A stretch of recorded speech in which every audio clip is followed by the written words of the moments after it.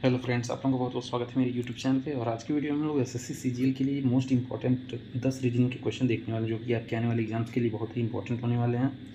और S S के लिए एक बेस्ट बुक के बारे में हम लोग इस वीडियो में बात करने वाले हैं तो वीडियो अंत तक बने रहें और चैनल पर नए चैनल को सब्सक्राइब ज़रूर करें। पहला क्वेश्चन यहाँ पे देखिए क्वेश्चन क्या गुरुत्व का संबंध जिस प्रकार कर्ष से है, उसी प्रकार चुंबकत्व का संबंध किससे है? ठीक है? तो गुरुत्व एक टाइप का बल है, ठीक है? एक टाइप का फोर्स है और चुंबकत्व का रिप्रेजेंटेशन उसका क्या है? वो आकर्षण प्रदान करता है, ठीक है? तो सी ऑप्शन करेक्ट हो जाएगा, आकर्षण। आज की वीडियो में हम लोग बात करने वाले हैं S S C C exam के लिए बेहतरीन बुक जो कि चक्षु प्रकाशन की है। आप लोगों के लिए मार्केट में अवेलेबल है, जिसे आप लेकर अपनी तैयारी की और भी मज़बूत कर सकते हैं। इस बुक में आपको बहुत ही बेहतरीन क्वेश्चंस मिलने वाले हैं। देखिए किस तरीके से आपको यहाँ पे क्वेश्चन मिलने वाले हैं। सामान्य बुद्धि एवं तर्क शक्ति और ये सारे क्वेश्चंस के सोल्यूशन आपको बिल्कुल आसान भाषा में जो है इसमें एक्सप्लेन किया गया जिसे आप आसानी से समझ सकते हैं। तो बिल्कुल देर ना करते हुए आप इस बुक को परचेज कीजिए और तैयारी स्टार्ट कर दीजिए। देखिए किस तरीके के क्वेश्चन आपको यहाँ पे मिलने वाले एक्सप्लेनेशन पूरा एग्ज़ाम्पल के साथ एक्सप्लेनेशन भी आपको यहाँ पे दिया गया है। तो ये जो है एक बहुत ही बेहतरीन बुक है आपके सी एग्ज़ाम दो के लिए, जिसे आप आसानी से प्राप्त कर सकते हैं। फ्लिपकार्ट अमेजन या फिर ऑफलाइन भी इस बुक को जो है आप परचेज कर सकते हैं। इस प्रकाशन की आपको प्रैक्टिस सेट भी अवेलेबल हैं, जिससे आप अपनी तैयारी को और भी अच्छी तरीके से कर सकते हैं, यहाँ पे वाइड रेंज आपके कम्पिटेटिव एग्ज़ाम बुक्स भी अवेलेबल है, सिपाही वन रक्षी, आरक्षक, ये सब बुक आप लोगों के मार्केट में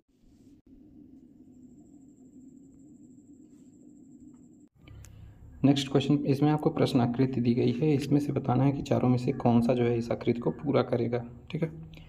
तो जैसा कि आप लोग यहाँ पे देख पा रहे हैं, सबसे पहले आपका ये सर्कल पूरा होना चाहिए, ठीक है? उसके बाद ये स्क्वायर पूरा होना चाहिए। फिर यहाँ से एक एरो निकलना चाहिए, ठीक है? ये यहाँ सेंटर तक जाएगा। और एक हॉरिजॉन्टल लाइन जानी चाहिए। तो अब यहाँ पे देखिए आपका ये जो है सर्कल से नहीं जा रहा है तो ये ऑप्शन ख़त्म हो गया। ये सर्कल से जा रहा है, ठीक है? लेकिन ये जो हॉरिजॉन्टल लाइन है, ये अंदर नहीं जाना चाहिए, ये पूरा अंदर गया है, ठीक है? तो ये भी ख़त्म हो गया ऑप्शन और इस ऑप्शन में देखें तो ये भी आपका रिजेक्ट हो जाएगा, यानी कि सी ऑप्शन आपका करेक्ट हो जाएगा। एक बार फिर से देखिए किस तरीके से इसको बनाना है। पहले ये सर्कल आप पूरा करेंगे, ठीक है? फिर इस स्क्वायर को पूरा करेंगे। अब सर्कल के पेरी फेरी से एक लाइन जाएगी जो कि यहाँ कहाँ पे जाएगा?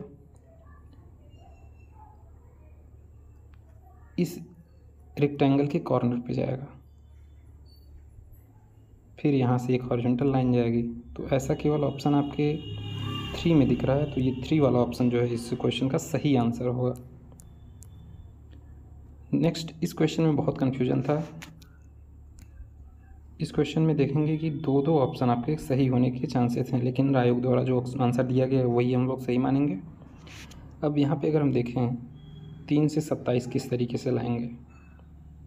तो अगर तीन में हम क्या जोड़ दें? चौबीस जोड़ दें तो कितना हो जाएगा? ट्वेंटी सेवन अब इसी तरीके से पाँच में चौबीस जोड़ देंगे तो ये कितना आ जाएगा? ट्वेंटी नाइन जो कि आपके ऑप्शन थ्री में है। और एक तरीका और इसको सॉल्व करने का। अगर हम तीन का क्यूब कर दें सिंपल तीन का क्यूब तीन तरीके, नौ तरीक, सत्ताईस होता है। अब पाँच का क्यूब अगर हम कर दें, पाँच का क्यूब होता है एक सौ पच्चीस। इसके अकॉर्डिंग ऑप्शन बी करेक्ट है। तो आयोग द्वारा जो आंसर करेक्ट दिया गया था, वो दिया गया था एक सौ पच्चीस। नेक्स्ट क्वेश्चन नंबर फोर, यहाँ पे एक सीरीज़ देखेंगे। नंबर सीरीज़ है। सबसे पहले इसको नोट डाउन कर लेते हैं। एक सौ दस, निन्यानवे eighty six question mark fifty four thirty five तो यहाँ पे अगर देखें हम तो ग्यारह माइनस हुआ है। यहाँ पे अगर माइनस करें नौ में से छः गया, तीन, और नौ में से आठ गया, एक, तेरह माइनस हो गया। तो यहाँ पे कितना माइनस होना चाहिए? ग्यारह, दो तेरह, ठीक है? अब यहाँ पे एक बार देख लेते हैं, यहाँ पे कितना माइनस हुआ है? तो यहाँ पे चौदह में से पाँच जाएगा कितना बचेगा? नाइन बचेगा और चार में से तीन जाएगा, एक। यहाँ पे उन्नीस माइनस हुआ है तो यानी कि यहाँ पे पंद्रह हुआ होगा और यहाँ पे कितना माइनस हुआ होगा? यहाँ पे सत्रह माइनस हुआ होगा। तो यानी एट्टी सिक्स में से अगर पंद्रह माइनस करेंगे तो छः में से पाँच जाएगा, एक बचेगा और आठ में से एक जाएगा, सात बचेगा। तो कौन सा ऑप्शन आपका करेक्ट हो जाएगा? सेवेंटी वन ठीक है? थर्ड पॉइंट थर्ड ऑप्शन आपका सही हो जाएगा। सेवेंटी वन क्वेश्चन मार्क के स्थान पे आएगा। जैसा आप लोग यहाँ पे देख रहे हैं, सबसे पहले ग्यारह माइनस हुआ है, फिर तेरह माइनस हुआ है, फिर यहाँ पे देखेंगे तो उन्नीस माइनस हुआ है, यानी कि यहाँ पे आपका हुआ होगा ग्यारह, तेरह, फिर पंद्रह, फिर सत्रह, ठीक है? तो इकहत्तर आपका करेक्ट आंसर हो जाएगा इस क्वेश्चन का। नेक्स्ट क्वेश्चन देखेंगे। इस टाइप के क्वेश्चन में बहुत लोग कंफ्यूज हो जाते हैं और छोड़ देते हैं। इनमें आपको पहले काउंट करना है कितने अक्षर हैं? एक, दो, तीन, चार, पाँच छः सात, आठ, नौ, दस, ग्यारह, बारह, तेरह, चौदह, पंद्रह, सोलह।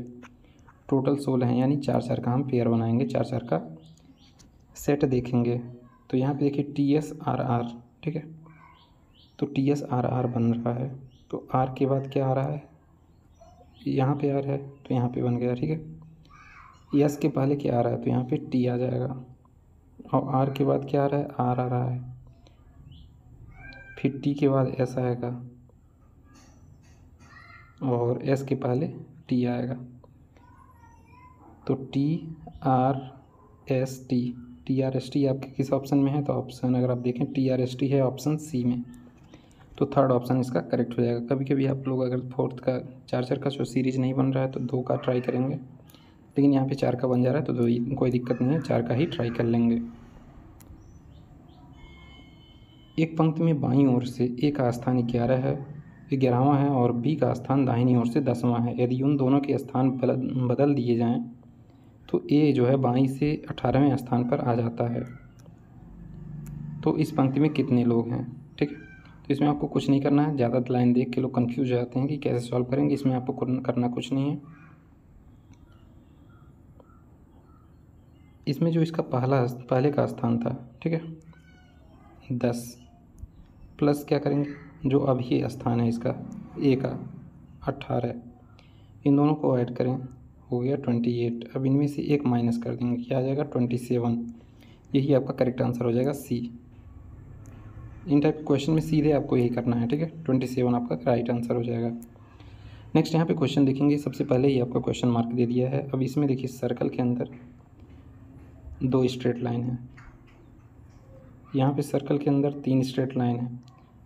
यानी कि ट्रायंगल बन गया। यहाँ पे सर्कल के अंदर चतुर्भुज बन गया है, ठीक है? तो इससे पहले वाली आकृति में कितने एक लाइन होनी चाहिए ट्रायंगल के अंदर, वो भी टेंजेंट नहीं होना चाहिए। ना नीचे ऊपर टेंजेंट कुछ नहीं होना चाहिए सेकेंड होना चाहिए। यानी इसको कट करना चाहिए।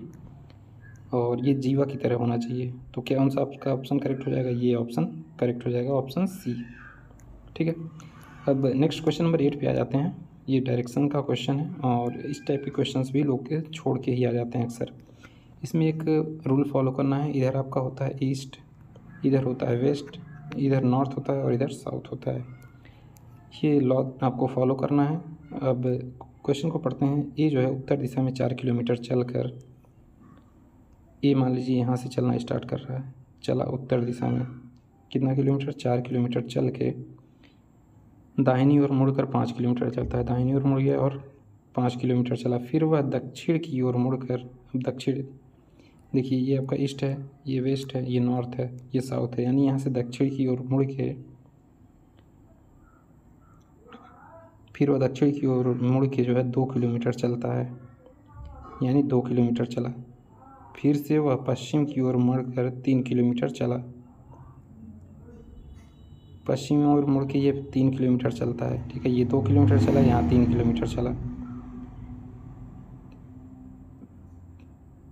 कुछ देर विश्राम करता है और फिर दो किलोमीटर आगे चलता है। तीन किलोमीटर चल के फिर दो किलोमीटर ये जो है आगे चलता है। उसने प्रारंभ बिंदु से एक यब दूरी कितनी है?